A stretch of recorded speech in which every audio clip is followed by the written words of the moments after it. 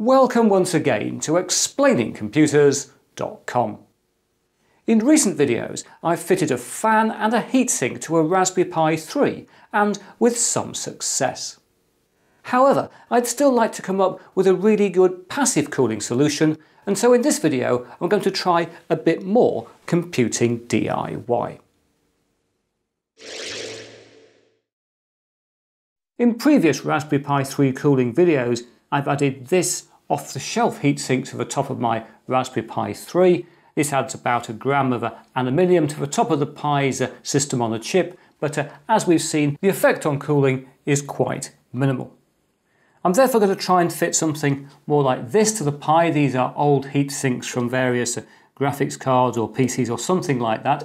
I'd kind of hoped these were copper, but this one is uh, definitely anodized aluminium. You can probably see the aluminium coming through there on the end. And this one, I think, it might be brass, I don't know, maybe it's also anodized aluminium. It certainly isn't uh, copper. But still, they're clearly massively bigger than this uh, tiny little Raspberry Pi heatsink.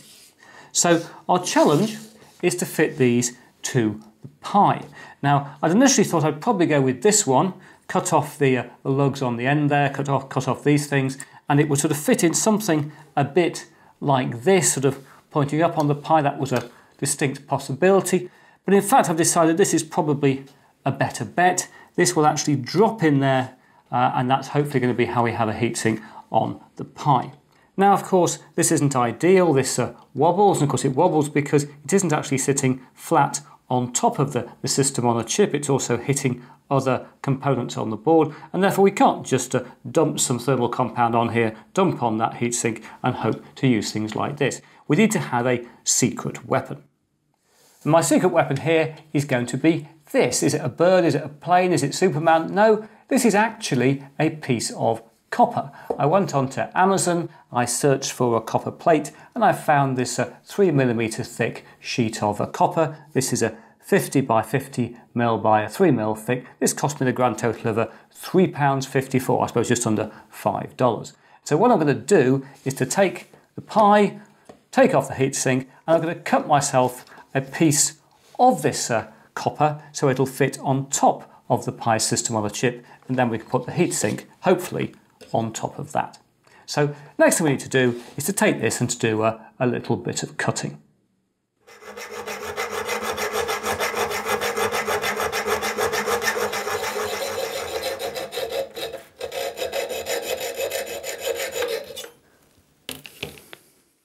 And here we are, here's our final piece of a very shiny copper, which I've uh, cleaned up with a file a little bit on the edges and also cleaned both of the flat surfaces with alcohol so it's going to have a really good adhesion to our, our thermal compound. And I find it fascinating actually to compare this to the uh, other Raspberry Pi heatsink, the main difference being, yes I've cut this one a bit bigger, but it is probably five times the weight of this one, with a massive metal going on top of our Pi 3's processor. So Let's bring in the uh, Pi 3, get it roughly uh, in place in shot. We could just drop this directly on top, nice resounding little click there, and it fits beautifully flat. That's why I got the 3mm copper rather than some thinner sheets and put them together. But I am going to be extra cautious. And I've made myself, uh, therefore, this little piece of plastic, which hopefully you can just see glinting there. This piece of plastic's got a hole in the middle and it fits around the processor there just drops in, that's nice and loose around the edge of it. And that just means I can be absolutely certain I'm not getting any shorts. The processors stand proud of that plastic and this will stand free on the top of that. Still moves around, the plastic is still loose underneath, you can probably just about see. So that means I'm not going to get any problems shorting out anything on the ply on the Pi uh, fitting this piece of copper. So we need to make that fit in place. You'll see I've cut it bigger than the chip. I thought I might as well get a maximum amount of metal in there. And I put myself some marks on the plastic so I can work out where to drop this on. So I'm now going to take some uh, Arctic MX4, nice little bit of thermal compound, and put a tiny little bit on the top of the Pi's processor. I think that'll, that's probably too much actually, but um, we will go with that and we'll let that whiz itself round underneath. That should smooth out very, very, very well. Oh, I can feel it going round and round and round and round, skirting around. That's nicely on top of the Pi. And there we are. We have our um, piece of copper placed on top of the Pi.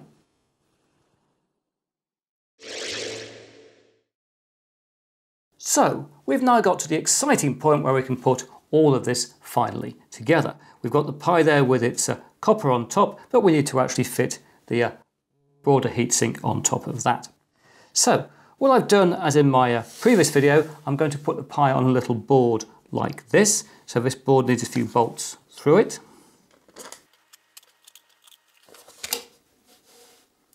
There we have our little board and we'll use our bits of uh, plastic pipe. There we are. And the Pi can now drop on top of that. There we are, the Pi is now nice and happy. We'll now put on our second layer of pipes.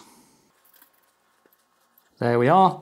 And uh, as in the last video, I've cut a top out of Perspex which will fit, hopefully if I got it right, across the top of those and fit in. It will, it'll fit very nicely. And if I've got it right, it'll also take the uh, heatsink that way on like that, and it'll fit also on there. But before we do that, I need to just put on the um, washers and the uh, nuts on top of these are screws. There we are, as a usual hand tights fitted that perfectly well and we can now fit in our uh, heatsink. So we'll get a bit more of the uh, Arctic uh, compound, a little bit on top of the heatsink here, just needs a little bit, um, probably the better size this time and we will take the heatsink and drop it in the top of here like this. We haven't got the opportunity to move. Oh, I can feel it moving around under there, hopefully making good thermal contact. And there we are, we have our uh, heatsink fitted onto the pipe. Now, of course, there's nothing actually holding everything in place here on this. So what I'm now going to do is just to put a little bit of a hot glue around the edge of that heatsink to hold everything permanently in place. And uh, here we go, Mr. Happy Happy Hot Glue, Happy Happy Hot Glue Happy Man. Strikes again, uh, holding in there. Probably gets a bit stringy, but there we are. And with hot glue applied on all sides, we have our final Pi with its uh, rather large passive heatsink. That looks like it's going to work very well indeed. But of course, just because it looks cool doesn't mean it'll run cool, and so now it's time to do some temperature tests.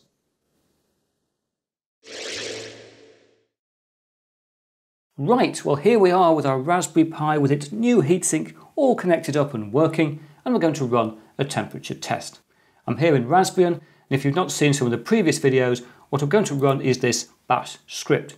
And this basically takes a temperature measurement, it then uses sysbench to stress out the processor cores to maximum for about two minutes. It takes another reading, it does it again, etc. So we get about a 10 minute test with temperature readings taken start and end and every two minutes. So I'll go to our terminal and I'll start off the test. There we are, we're starting with an idle temperature down at a 35.9 degrees. Obviously I won't run this through in um, real time, so I'll now leap into high speed and we'll see what measurements we come up with.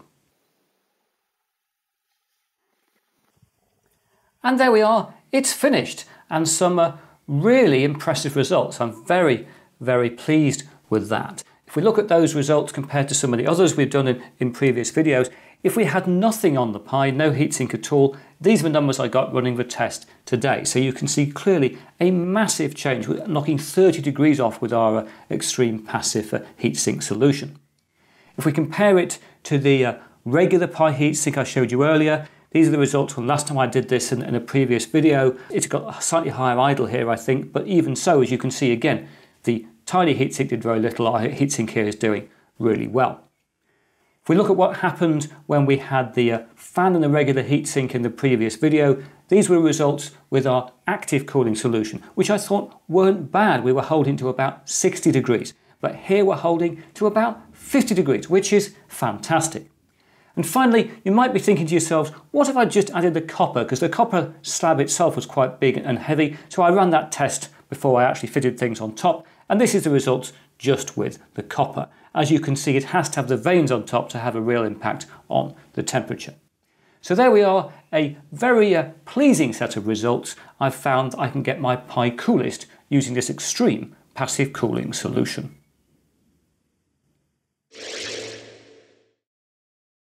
After three videos, my Raspberry Pi 3 cooling experiments have now come to an end, at least for now.